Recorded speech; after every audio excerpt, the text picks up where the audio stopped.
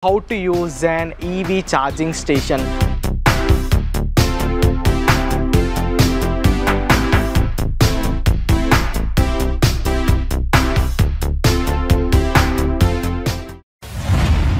Hello friends, this is Aditya and you're watching Electric Vehicles India. Friends, in this video, I'll show you how to use an EV charging station. So many of us will use electric vehicles, especially electric cars, and will frequently charge our electric cars at EV DC fast charging stations. Some might you might know how to use a fast charging station, but I am doing this video for the people who don't know how to use a fast charging station. So currently, I am traveling from Hyderabad to Srisailam.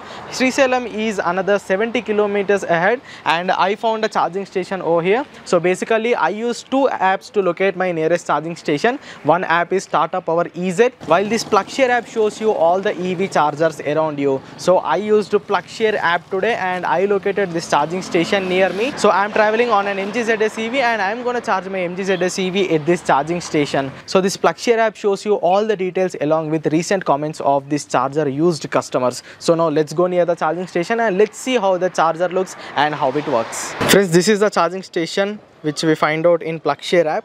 So this is a charging station related to eFill Electric company. So basically EV fast chargers looks like this. So the shape of the charger might change depends on the company, but most of the chargers will look like this. So this is the 60 kilowatt CCS type 2 charger. So basically it has two guns, one over the here and uh, another over there. So it can give you a 30 plus 30 kilowatt in both these guns, but if you attach only one gun to an electric car, it can give you 60 kilowatt output. So as our MG ZS EV has 50 kilowatt hour battery, this charger can charge our electric car in just one hour. So basically this is how the charging station looks. So here is a small display. So basically we don't need the information which is in the display because the full information will be known in the app. So let me download the eFill electric app. Then only we can access this charger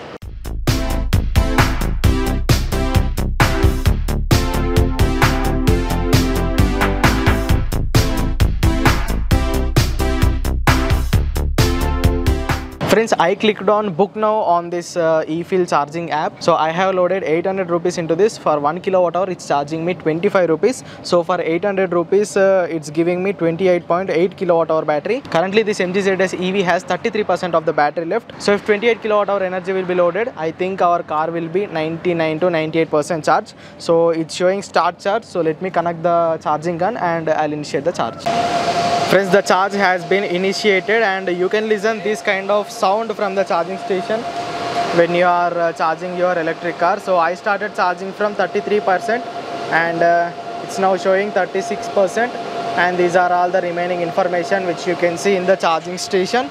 So first I connected this gun but it did not work. Then I connected the other side of gun and it's working now as you can see. And here we can see some lights at the charging port.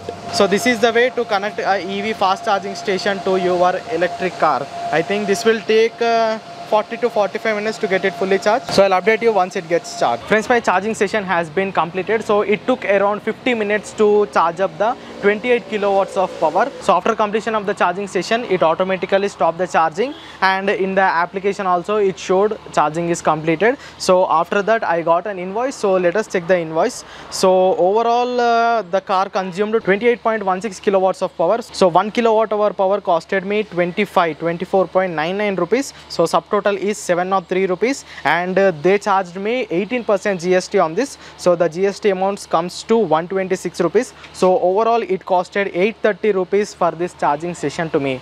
So this is the process to charge an electric car. Will compulsory charge this GST on this power consumption. So total it costed me 830 rupees to charge approximately 29 kilowatts of power.